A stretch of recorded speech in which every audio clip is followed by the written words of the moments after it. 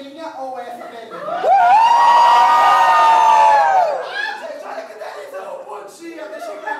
Olha, eu tô passando com esse ponto extra. deixa pra lá. Ale, você tá passado? Muito passado.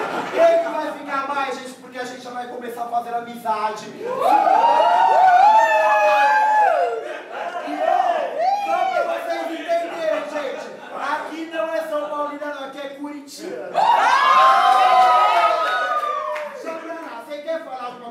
claro que é agradecer. Gente, olha pra ele, me lembrou uma sentona da beira já tem feito.